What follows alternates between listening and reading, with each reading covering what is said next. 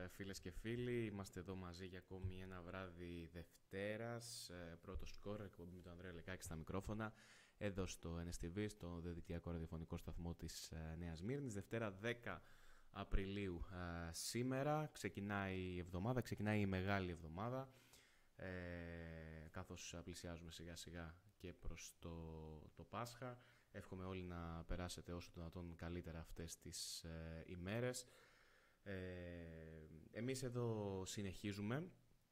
Αρχή μεγάλης ε, εβδομάδας. Ε, σε μια Δευτέρα που έχουμε να πούμε αρκετά πραγματάκια τόσο ε, για την ελληνική όσο και για την ξένη αθλητική επικαιρότητα. Και θα ξεκινήσουμε χωρίς να χάσουμε πολύ χρόνο. Καταρχάς να πούμε πως αφού λίγο πούμε κάποια πραγματάκια για την αγωνιστική, την τέταρτη αγωνιστική των play-off που διεξήχθη χθες και είχε να μας δώσει πάρα πολύ υλικό για ε, σχολιασμό.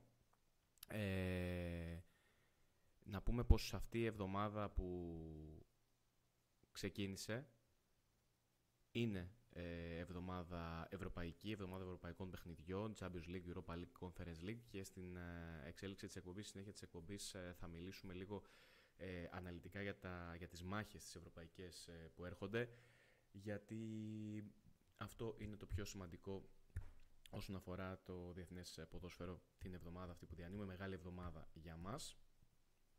Ε, αλλά πρώτα θα πάμε λίγο να δούμε τι έγινε αυτή την τέταρτη αγωνιστική των ε, play-off της ελληνικής ε, Super League. Ε, γιατί είχαμε και Derby Αιωνίων φυσικά στην Λεωφόρο, είχαμε ε, μια πολύ μεγάλη νίκη, μία ακόμη πολύ μεγάλη νίκη, νίκη μπορεί να αποδειχθεί χρυσάφι για την Nike μέσα στην uh, ΟΠΑ Είχαμε την επιστροφή του ΠΑΟΚ στις νίκες, κυρίως όμως είχαμε ένα τραγελαφικό γεγονός, ένα ακόμη τραγελαφικό γεγονός, κομικοτραγικό θα λέγαμε, από αυτά που δεν ξέρεις αν πρέπει να γελάσεις ή να ε, κουνήσεις το κεφάλι για μια ακόμη φορά από απογοήτευση με τα όσα διαδραματίζονται στο, σε αυτό το χώρο που λέγεται ελληνικό ποδόσφαιρο. Ε, όπως όλοι γνωρίζουμε πλέον, λίγες ώρες πριν από την έναρξη των παιχνιδιών των play-off χθε. Είχαμε την είδηση πως ε, οι Πολωνοί διαιτητές που θα σφύριζαν, που είχαν οριστεί να σφυρίξουν το παιχνίδι ΑΕΚ Άρης ε, στη Νέα Φιλαδέλφια, ε, εμφανίστηκαν σύμφωνα με τα όσα είδαν ε, αρχικά το φως δημοσιότητας ε, μεθυσμένοι στο αεροδρόμιο Ελευθέριος Βενιζέλος και όχι απλά αυτό, ενεπλάκησαν και σε κάποια πολύ άσχημα περιστατικά όπως το ότι πήραν μέρος σε κάποιες μικροσυμπλοκές με κάποιους οπαδούς, δημιούργησαν προβλήματα, φασαρία στο χώρο του αεροδρομίου. Όπως καταλαβαίνετε από μόνη της αυτή η είδηση είναι απίστευτη έκανε πολλούς να ελέγξουν το ημερολόγιο αν είναι πρωταπριλιά, αν πρόκειται για κάποιο είδους ε, πρωταπριλιάτικο αστείο. Τελικά δεν ήταν κάποιο αστείο. Πράγματι υπήρχε κάποιο πρόβλημα με αυτούς τους ε, διαιτητές. Πράγματι αντικαταστάθηκαν και τελευταία στιγμή ορίστηκαν Έλληνες διαιτητές να διευθύνουν την αναμέτρηση της ΑΕΚ με τον Άρη. Ορίστηκε ω πρώτο διαιτητής, ε, για παράδειγμα, ο κύριος Διαμαντόπουλος. Και έχει μείνει πλέον ένα πολύ μεγάλο μυστήριο το οποίο ελπίζουμε να αποκαλυφθεί κάποια στιγμή το τι ακριβώς έγινε ε, με τους ε, Πολωνούς διαιτητές. Η δική τους πλευρά φυσικά διαψεύδει τα όσα είδαν το φως της δημοσιότητας ε, αρχικά. Ε, τοποθετήθηκαν μάλιστα οι ίδιοι οι διαιτητές και αρνήθηκαν το γεγονός πως ήταν μεθυσμένοι και μάλιστα βγήκε στο φως η εκπομπή Super Balla, συγκεκριμένα αν δεν κάνω κάποιο λάθος, χθες αργά το βράδυ έβγαλε στο φως και το αλκοτέστ του διαιτητή, του Πολωνού διαιτητή, αυτού που θα ήταν ο πρώτος διαιτητής στο παιχνίδι, που έδειχνε πως ε, έχει μηδενικό ποσοστό αλκοόλ ε, στο αίμα του. Δεν ξέρουμε βέβαια πόση ώρα μετά διενεργήθηκε το συγκεκριμένο τεστ. Ε, υποστήριξαν από την πλευρά τους οι διαιτητές αυτοί πως ε, εμφανίστηκε ο αρχιδιαιτητής ο κύριος Μπένετ στο ξενοδοχείο τους και τους ενημέρωσε λίγες ώρες πριν το παιχνίδι ότι δεν θα σφυρίξουν το παιχνίδι και φυσικά αρνήθηκαν τα δημοσίευματα που τους ήθελαν μεθυσμένους στο αεροδρόμιο ε, κτλ. Στο ραδιοφωνικό σταθμό Λίμπερο της Θεσσαλονίκης έγινε μια πάρα πολύ σοβαρή καταγγελία. Εμφανίστηκε κάποιος ο οποίος ε, φέρεται να είναι αυτό της μάρτυρας. Δεν έχουν ελεγχθεί ακόμη αν είναι ε, αλήθεια αυτά που είπε. Ε, φέρεται πάντως να ήταν συνεπιβάτης στο αεροπλάνο με την ομάδα των Πολωνών διαιτητών Τύχαινε να ξέρει και ο ίδιος πολωνικά, γιατί ζει στην Πολωνία, όπως είπε συγκεκριμένα στον αέρα του ραδιοφώνου. Ε, και είπε πως τους άκουσα να λένε για ένα παιχνίδι του πολωνικού πρωταθλήματος που σφύριξαν, για κάποια λάθη που έκαναν, να πίνουν βότκες και τζιν κτλ να μιλούν για κάποιες καλές σχέσεις που έχουν με πρόεδρο μιας ελληνικής ομάδας που θέλει οπωσδήποτε να πάρει το πρωτάθλημα. Δεν κατονόμασαν ποιας ομάδας και ποιος είναι αυτός ο πρόεδρος.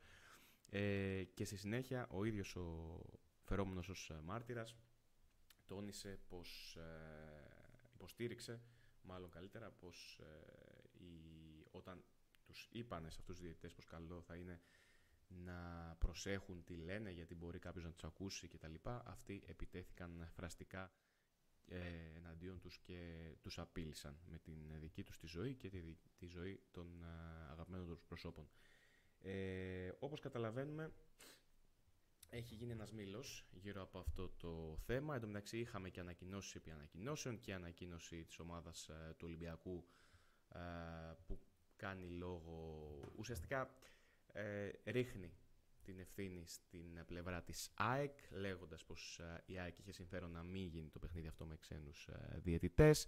Ανακοίνωση έβγαλε και ο Παναθηναϊκός ε, πριν από λίγο, η ΑΕΚ του απάντησε. Γενικότερα συνεχίζεται αυτός ο χαρτοπόλεμος σε ένα πρωτάθλημα το οποίο ε, λένε πολύ χαριτολογώντας πως είναι το κορυφαίο στον κόσμο γιατί δεν σε κάνει να βαριέσαι ποτέ ε, και σίγουρα αν κάποιος έκανε ένα σερφάρισμα στο διαδίκτυο χθες ε, και διάβαζα τα σχόλια μετά από αυτή την ε, τραγελαφική είδηση ε, θα διασκέδαζε αρκετά.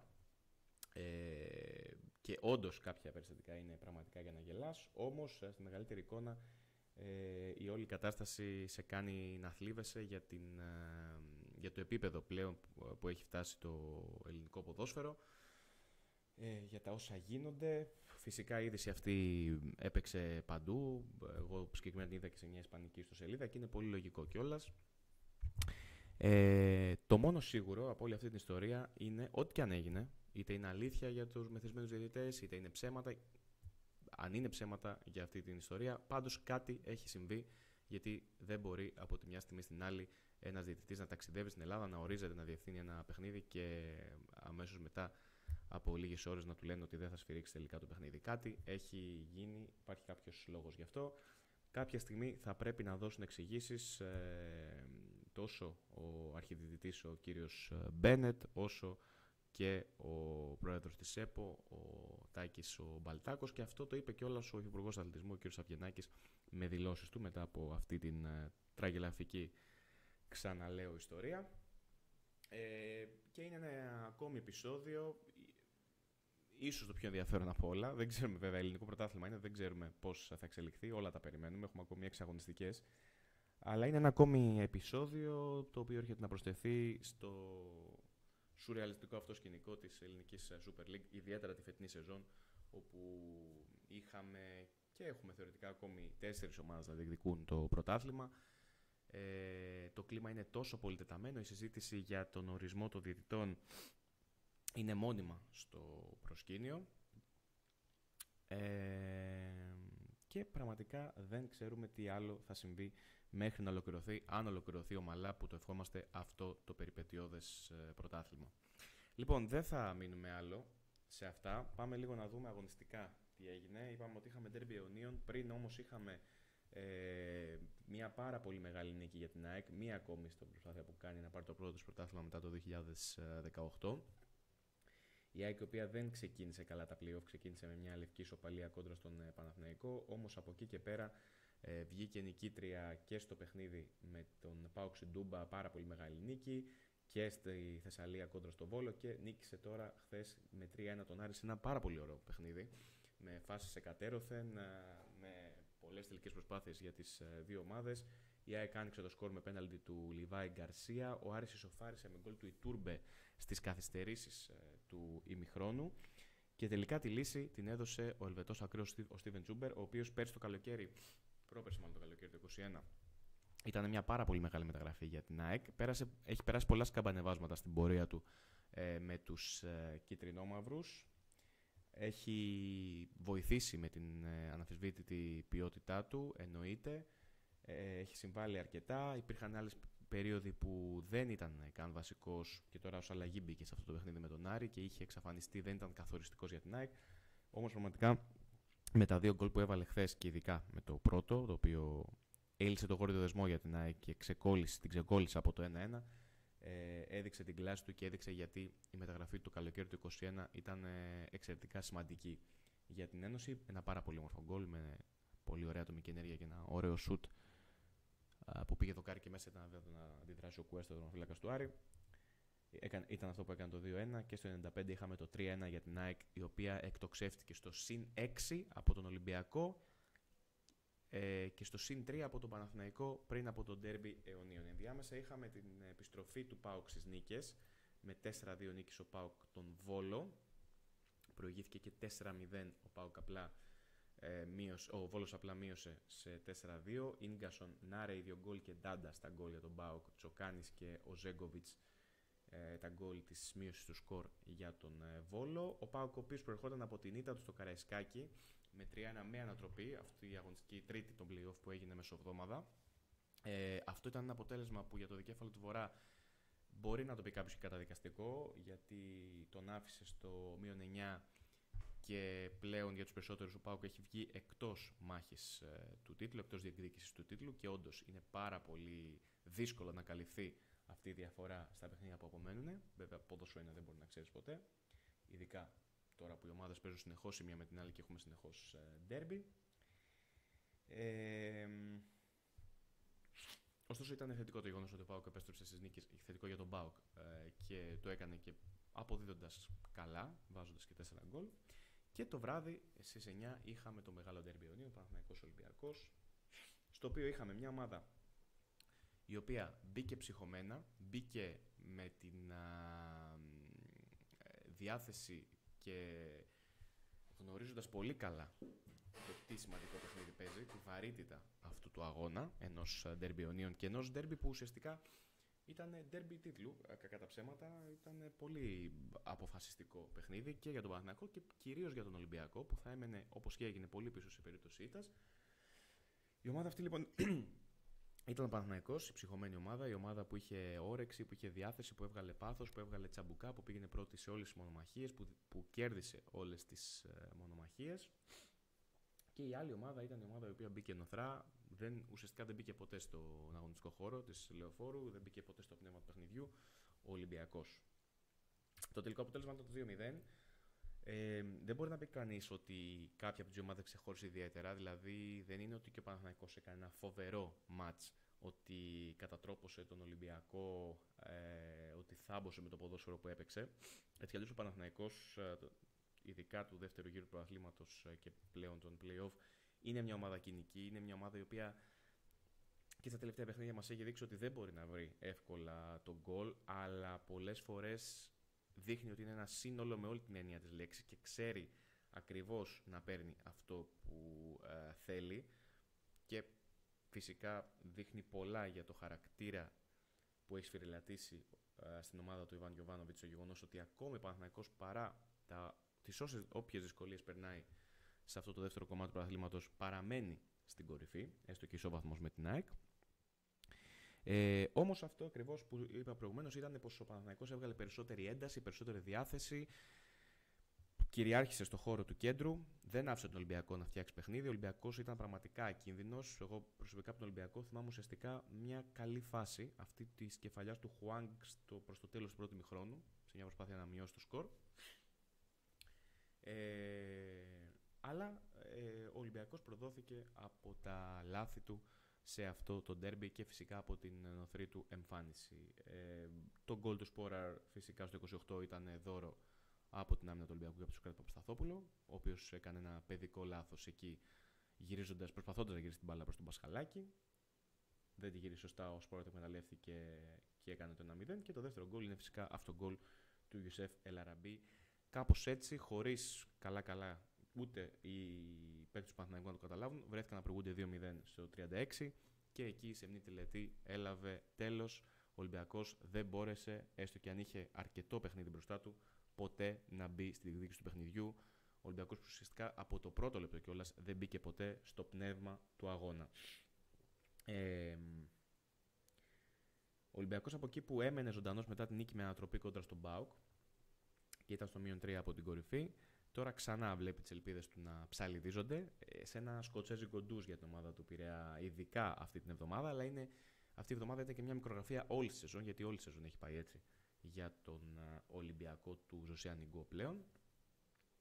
Από την ε, πολύ καλή εμφάνιση μέχρι το 65 και το 2-0 επί του Άρη στο 2-2 τελικό σκορ.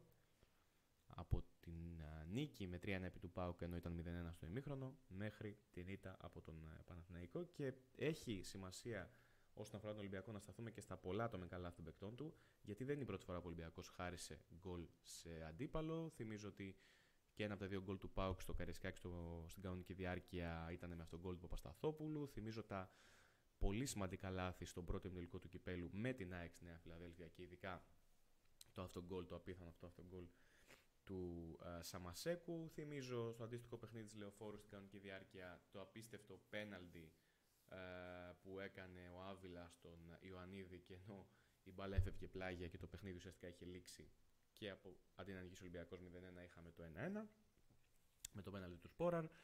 Πάρα πολλές περιπτώσεις στις οποίες οι παίκτες του Ολυμπιακού έχουν κάνει δώρα στους αντιπάλους και φυσικά ε, όταν έχεις μια ομάδα με τόσα πολλά προβλήματα στην, στο στήσιμο, ε, όταν έχεις μια ομάδα με τόσα πολλά σκαμπανεβάσματα και όταν αποδειγμένα έχουν γίνει πολλά στον προγραμματισμό και επιπλέον κάνεις και λάθη που χαρίζουν ε, γκολ στον αντίπαλο, τότε πάρα μα πάρα πολύ δύσκολα μπορείς να διεκδικήσεις το πρωτάθλημα.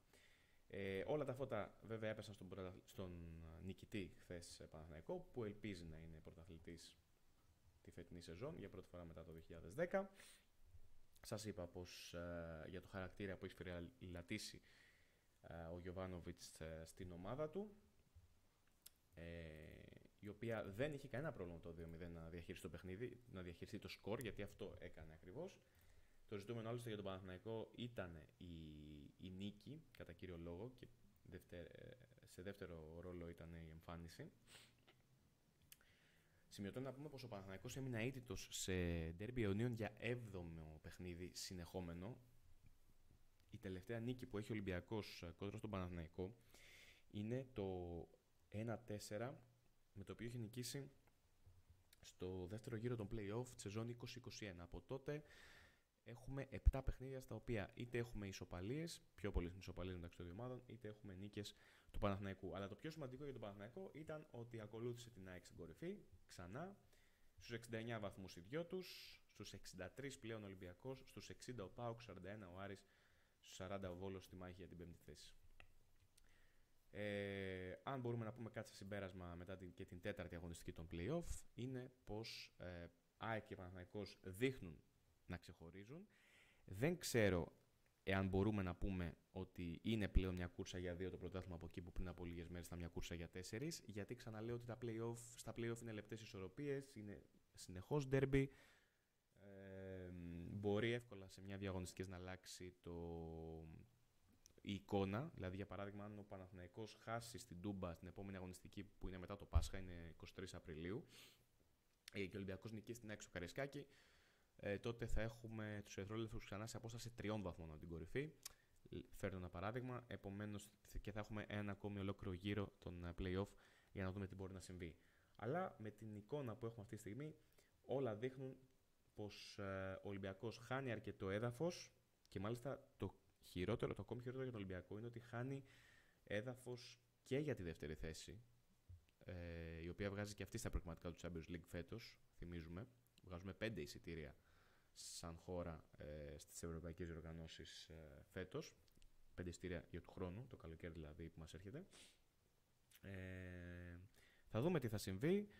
Ε, ΑΕΚ και Παναθηναϊκός ε, πάντως δείχνουν να έχουν καλό πρόγραμμα σχετικά στο δεύτερο γύρο, δεδομένου ότι έχουν αρκετά παιχνίδια στην έδρα τους, αλλά όλα αυτά θα τα δούμε ε, βήμα-βήμα και εδώ παρέα μπορούμε να τα συζητάμε.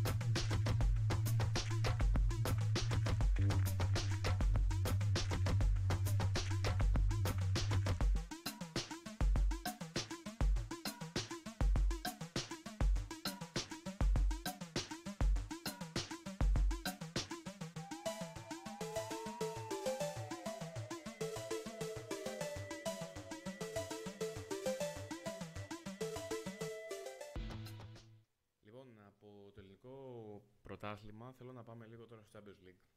Και μιλώντας για το Champions League και γενικότερα για, τα, για τις ευρωπαϊκές οργανώσεις, για τα παιχνίδια στις ευρωπαϊκές οργανώσεις που έρχονται, θα μιλήσουμε και λίγο για τα παιχνίδια που είχαμε το Σαββατοκύριακο στο εξωτερικό. Επιστρέφει μετά από τρεις εβδομάδες αποχή το Champions League ξανά, αυτή την εβδομάδα, μεγάλη εβδομάδα για μας. Για τους καθολικούς ε, το Πάσχα ήταν χθε, επομένως έχει περάσει για, το μεγαλύτερο, για τις περισσότερες χώρες της Ευρώπης. Επιστρέφει λοιπόν το Champions League με την προημιτελική φάση και πλέον βρισκόμαστε, όπως καταλαβαίνει κανείς, σε ένα πολύ κρίσιμο σταυροδρόμι των ευρωπαϊκών κυπέλων φέτος, σε μια πολύ κρίσιμη καμπή.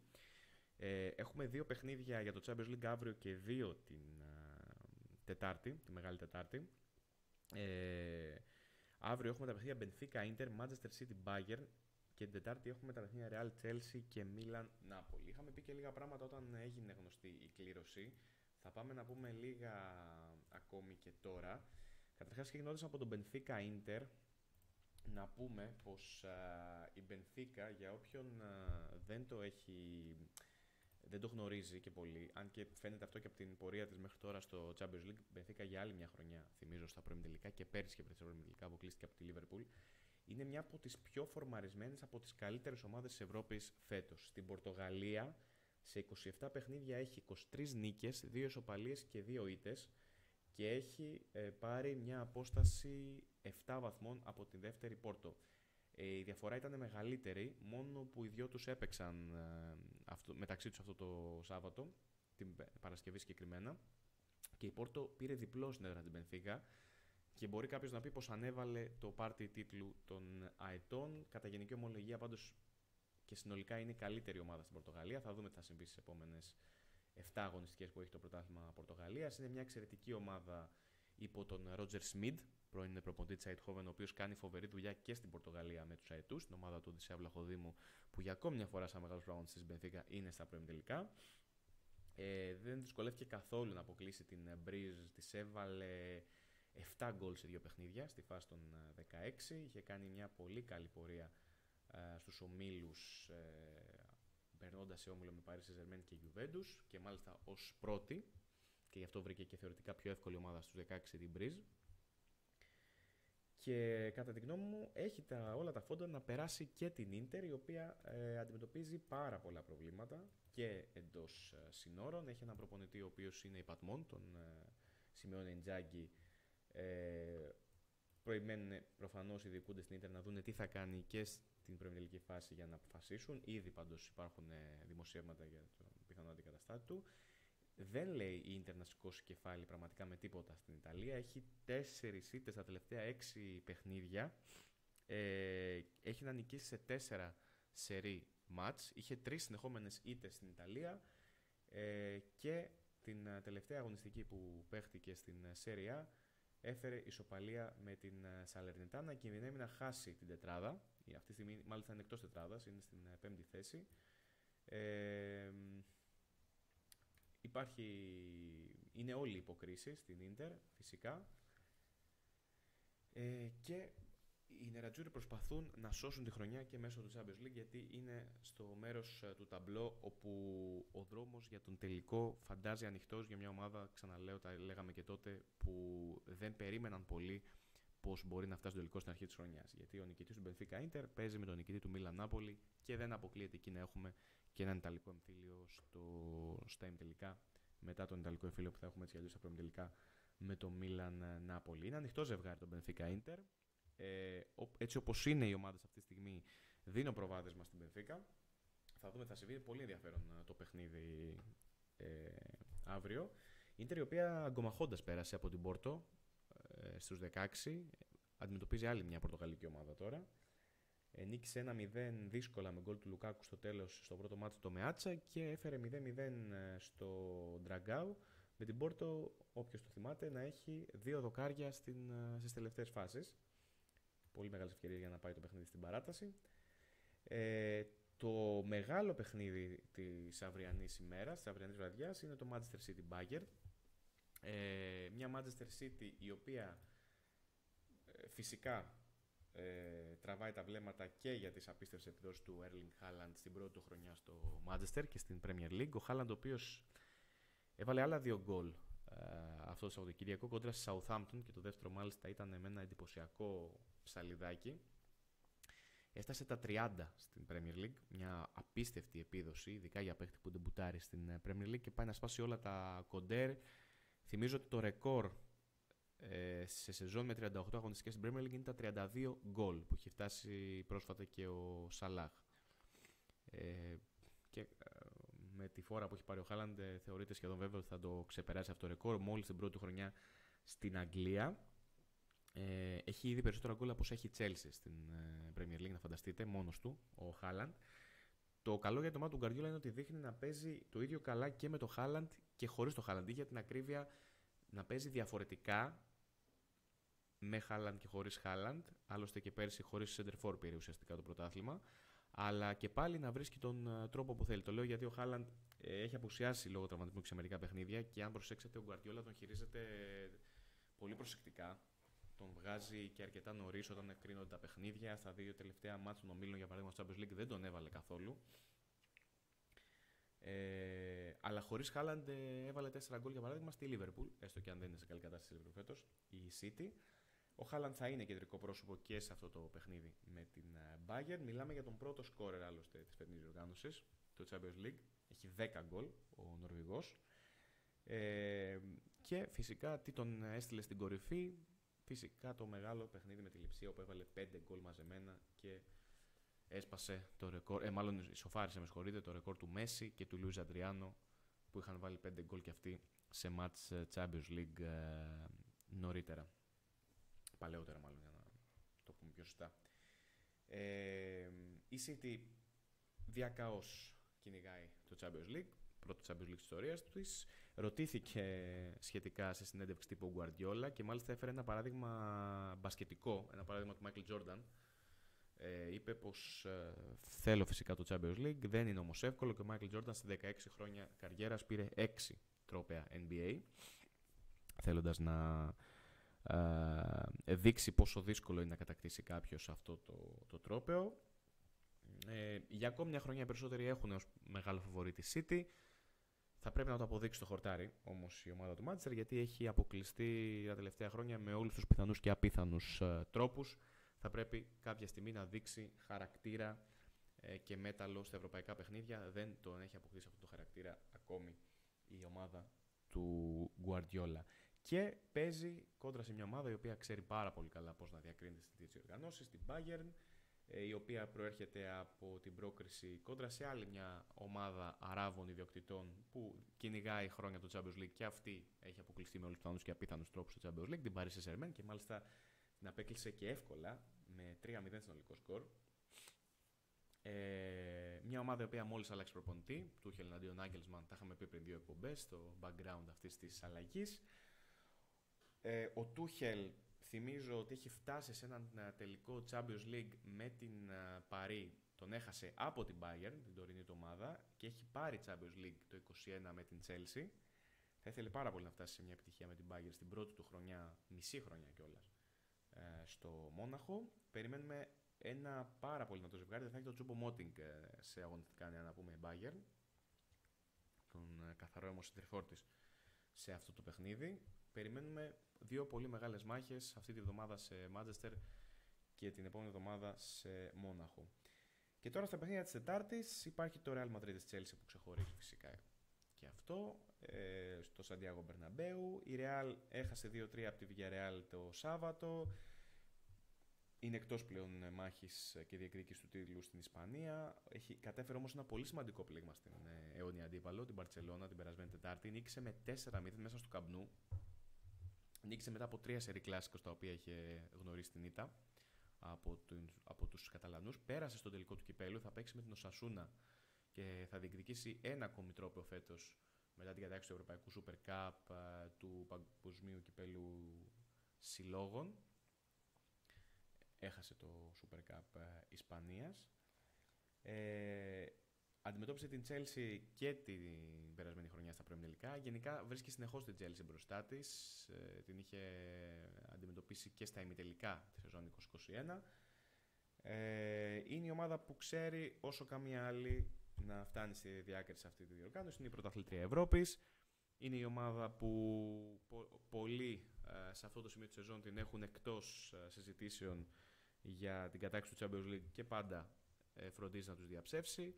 Ε, και μάλιστα κόντρα σε αυτήν την Chelsea είναι το μεγάλο φαβορή για μένα. Και γιατί λέω σε αυτή την Chelsea, γιατί η Chelsea ε, συνεχίζει τη μετριότατη πορεία στην Premier League. Ε, προέρχεται από αλλαγή προπονητή να πούμε πως ε, ο Frank Lampard, ένας άνθρωπος του συλλόγου, θρύλος βασικά του συλλόγου, πρώτος κόρος στην ιστορία της, ανέλαβε και ξεκίνησε τη δεύτερη θητεία του στην ε, Chelsea ε, ανέλαβε προσωρινά μέχρι το καλοκαίρι, μέχρι να βρεθεί ο επόμενος προπονητής για τους ε, μπλε. Ήταν η καλύτερη λύση τη δεδομένη χρονική στιγμή, μέχρι να αποφασίσουν οι Αμερικανοί διοκτήτες της Chelsea ποιος θα είναι ο προπονητής της επόμενης μέρας, αν θα είναι ο Νάγκελσμαν, αν θα είναι ο Λούι Ενρίκη, αν θα είναι κάποιος άλλος. Αλλά εντωμεταξύ η Chelsea συνεχίζει και έχει απώλειες ε, στην Αγγλία και αυτή τη στιγμή είναι στην 11η θέση με 39 βαθμούς. Έχασε και το Σάββατο από την Wolves. Ένα ακόμη άσχημο αποτέλεσμα.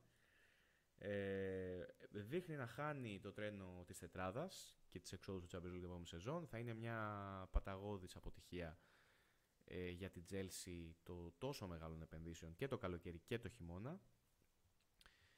Και φαίνεται πως η μόνη διέξοδός της για να είναι στο Champions League την επόμενη περίοδο είναι το φετινό Champions League να φτάσει δηλαδή στην κατάκτησή του. Επομένως θα τα παίξει όλα για όλα και αυτή και η Real σε αυτό το ζευγάρι, σε αυτούς τους διπλούς αγώνες. Και η Real θέλει να σώσει τη δική της χρονιά μες στο Champions League, γιατί κακά τα ψέματα και το κύπελο να κατακτήσει ε, δεν θα έχει την ίδια βαρύτητα όπως με το να φτάσει για άλλη μια χρονιά στην κορυφή της Ευρώπης. Η Chelsea επίσης σκοράρει πάρα πολύ δύσκολα ε, και θα πρέπει να βρει λύση σε αυτό το πολύ μεγάλο πρόβλημα που την ταλανίζει. Σκοράρει πολύ δύσκολα γιατί δεν έχει center καθαρό αιμό. Ε, θα πρέπει να βρει λύση ε, σε αυτό το πρόβλημα που την ταλανίζει εάν θέλει να έχει τύχη απέναντι στους μπαρουτοκαπνισμένους αστέρες της Real Madrid που ξαναλέω γνωρίζουν πολύ καλά πώς να φτάσουν στη διάκριση σε, αυτό το, σε αυτή τη διοργάνωση. Και πάμε και στο Μίλαν Νάπολη, στον Ιταλικό εμφύλιο όπως είπαμε και νωρίτερα, που έχουμε σε αυτή τη φάση του Champions League, στη φάση των πρώην τελικών. Ε, πρόσφατα είχαμε μία ακόμη μεταξύ τους αναμέτρηση για το πρωτάθλημα και η Μίλαν ε, πέρασε εντυπωσιακά από το Diego Armando Maradona νικώντας 4-0 τους ε, Ναπολιτάνους σε ένα παιχνίδι όπου ήταν σε εξαιρετική βραδιά ο Ραφαέλ Λεάο και είχα πει τότε σε αυτή την εκπομπή γιατί το είχαμε συζητήσει την προηγούμενη εβδομάδα, ότι το παιχνίδι που έρχεται μεταξύ τους για Champions League θα είναι πάρα πολύ διαφορετικό.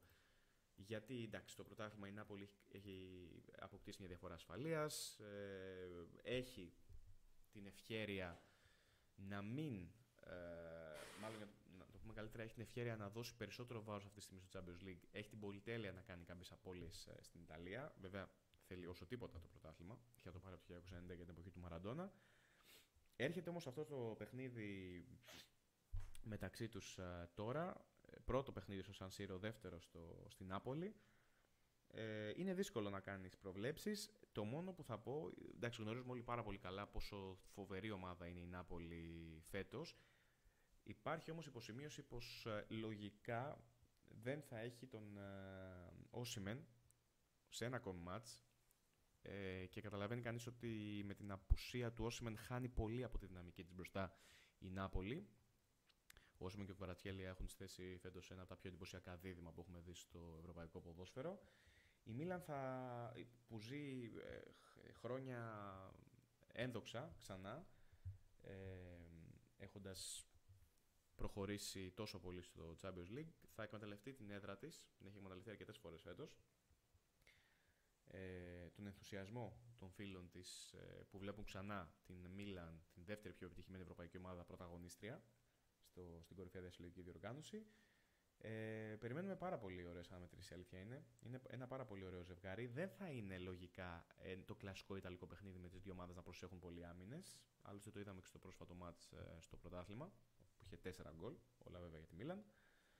Ε, και ξαναλέω ότι για τις ομάδες που βρίσκονται σε αυτή τη μεριά του ταμπλό, για την Πενφύκα, την ντερ, τη Μίλαν και την Νάπολη, είναι τεράστια η ευκαιρία που τους ε, παρουσιάζεται. Και αυτό το ξέρουν πάρα πολύ καλά. Δηλαδή, Κανείς δεν περίμενε στο ξεκίνημα της χρονιάς μία εκ των Μπενθήκα, Ιντερ, Μίλαν, Νάπολη να βρεθεί σε έναν τελικό, γιατί αυτό θα γίνει, ε, δεν μπορεί να αλλάξει.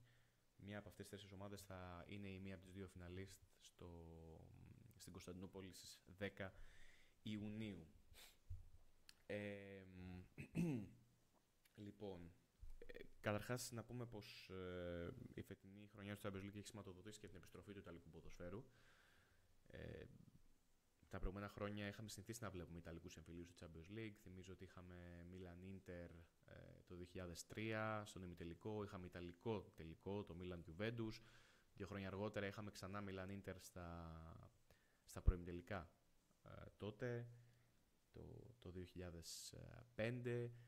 Ε, τελευταία φορά που είδαμε Ιταλική ομάδα σε τελικό ήταν το 2017 ε, με τη Juventus να χάνει από τη Real με 4-1 στο Cardiff Είχε φτάσει και το 15 η Juventus τελικό. Τελευταία φορά που πήρε η Ιταλική ομάδα του Champions League ήταν το 2010. Πρέπει να πάμε πλέον αρκετά πίσω με την Ιντερ του Μουρίνιο που είχε πάρει τότε το treble. Ε, τώρα υπάρχει, υπάρχουν τρει-τέσσερι πιθανότητες να είναι μια Ιταλική ομάδα στον τελικό και αυτό είναι πάρα πολύ σημαντικό για το ποδόσφαιρο των Ιταλών. Λοιπόν, αυτά είναι ολίγες για τα μάτς που έχουμε στο Champions League.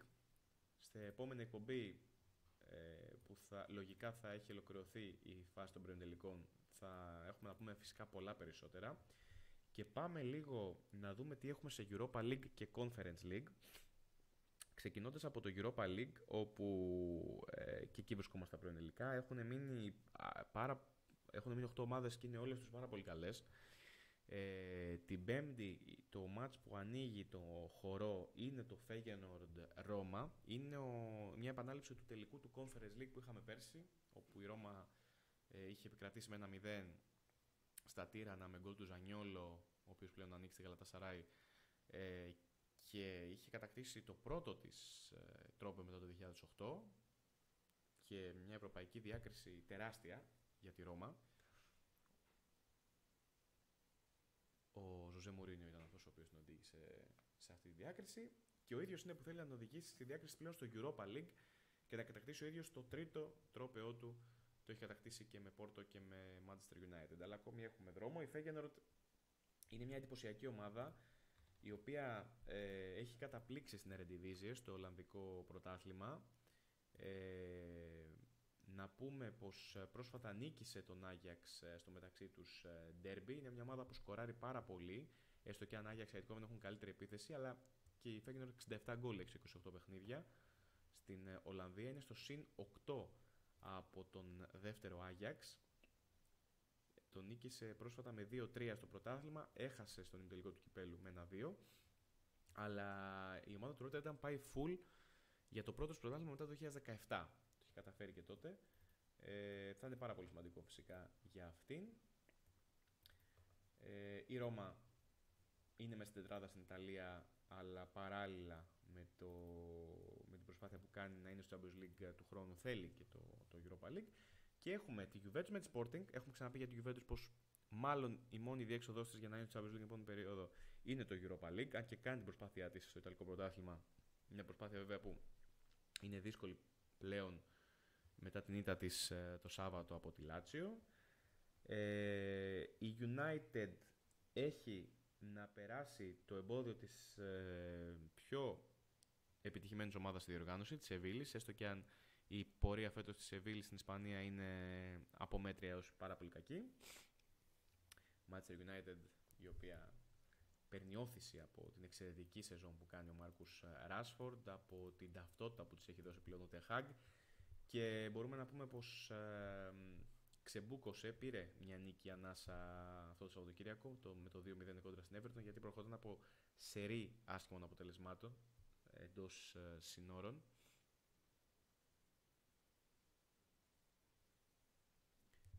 Αυτές οι δύο νίκες ε, που πήρε με την ε, Bradford και την Everton την έχουν βάλει ξανά σε πολύ καλή θέση για να είναι στην τετράδα έξω Champions League της επόμενης περίοδου. Και υπάρχει και το Leverkusen Union Saint-Gilloise. Η Union Saint-Gilloise είναι η ομάδα η οποία απέκλεισε ε, την άλλη Union στην προηγούμενη φάση, την ε, Union Βερολίνου.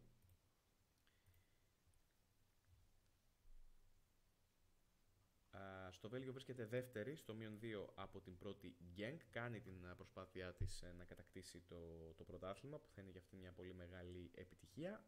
Και έχει απέναντί της τη Leverkusen η οποία ε, με τον Τσάμπι Αλόνσο στην τεχνική ηγεσία έχει αναγεννηθεί πραγματικά, διαθέτει για μένα εξαιρετικό υλικό σαν ομάδα, κυρίως από την μέση και μπροστά. Τρέχει ένα επιτυχημένο σερί στη Γερμανία, έχει συνεχείς ε, νίκες, η οποία νίκησε με 3-1 την Eintracht τελευταία αγωνιστική. Έχει νικήσει και την ε, Bayern. Έχει πέντε συνεχόμενες νίκες ε, στη Γερμανία. Πέρασε τη Ferencváros στην προηγούμενη φάση στο Europa League. Ε, συνεχίζει την προσπάθειά της για την τετράδα για να είναι στο Champions League της επόμενης περίοδου. Συνεχίζει και την προσπάθειά της στο Europa League. Ο Τσάμπι Αλόνσο, ξαναλέω, κάνει εξαιρετική δουλειά. Έχει αναδείξει όλες τις αρετές της ε, Leverkusen σαν ομάδα. Ε, και ε, σίγουρα περιμένουμε με πολύ ενδιαφέρον αυτά τα παιχνίδια στο Europa League. Ο νικητής του United Seville θα παίξει με τον νικητή Juventus Sporting και ο νικητής του Feyenoord Roma θα παίξει με τον νικητή του Leverkusen ε,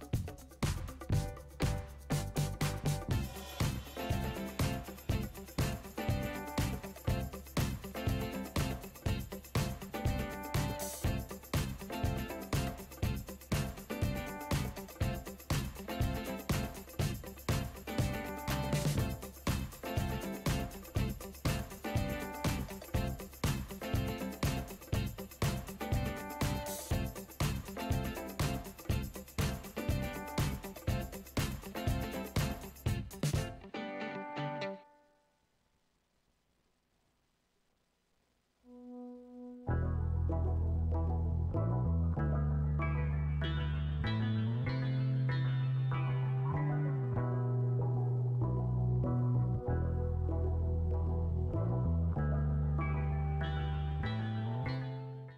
τέλος ε, υπάρχουν τα μάτς ε, του Conference League. Έχουμε ξαναπεί πως το Conference League ε, είναι μια διοργάνωση που δίνει μια μεγάλη ευκαιρία σε ομάδες που δεν φτάνουν συχνά μακριά σε ευρωπαϊκές οργανώσεις και δεν έχουν πολλές ευρωπαϊκές επιτυχίες και δεν έχουν καθόλου ευρωπαϊκές επιτυχίες να φτάσουν στη διάκριση.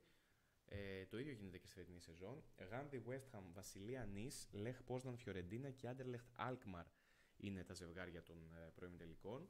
Όλες οι ομάδες έχουν τεράστιο κίνητρο για την ευρωπαϊκή διάκριση και όλες οι ομάδες στη σύγχρονη ιστορία τους δεν έχουν καμία ευρωπαϊκή διάκριση. Πρέπει να πάμε πολύ πίσω για να βρούμε κάποια ευρωπαϊκή διάκριση σε κάποιες ομάδες. Για παράδειγμα, η Φιωρεντίνα ε, έχει πάρει ένα κύπελο κυπελούχων το μακρινό 1961.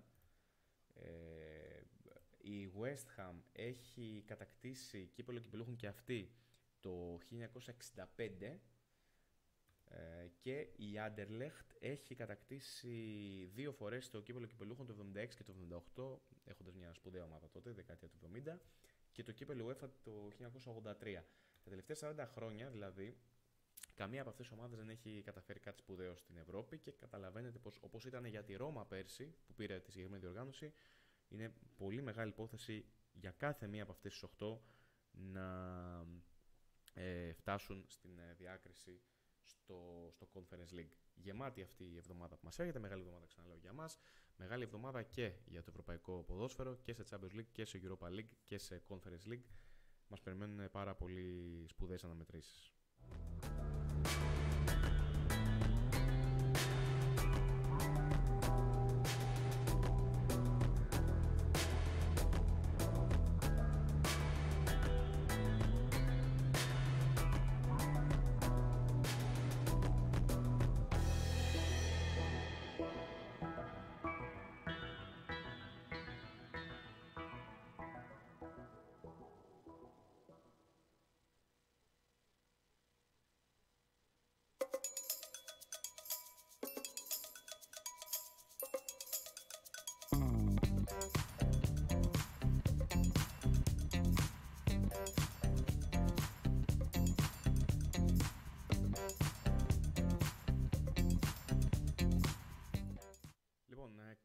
Να πούμε λίγο για να περάσουμε και στο μπάσκετ ότι έχουν βγει πλέον τα ζευγάρια των playoffs στην ε, Basket League γιατί ε, διεξήχθηκε η τελευταία αγωνιστική. Είχαμε άλλη μια ήττα για τον Παναθηναϊκό τερμάτισε με 6 ήττες στη σεζόν. Παρ' όλα αυτά κράτησε τη δεύτερη θέση.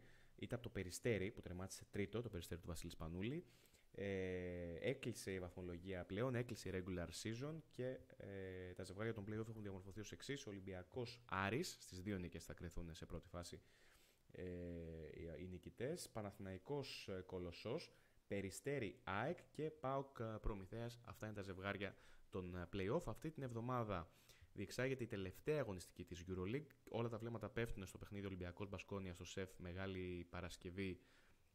Ο Ολυμπιακός θέλει τη νίκη για να τερματίσει σίγουρα στην πρώτη θέση και να παίξει με την 8η ομάδα της βαθμολογίας στα play-off. Είχαμε παιχνίδι για το League Cup του Volley, το πρώτο παιχνίδι του League Cup Νίκος Σαμαράς, ο Ολυμπιακός Παναθυναϊκό. Ο Παναθυναϊκό πήρε την νίκη στο tie break κόντρα στον Ολυμπιακό, όπως είχε πάρει την νίκη στο πρώτο παιχνίδι και στο Challenge Cup και μετά έκανε την ανατροπή Ολυμπιακός.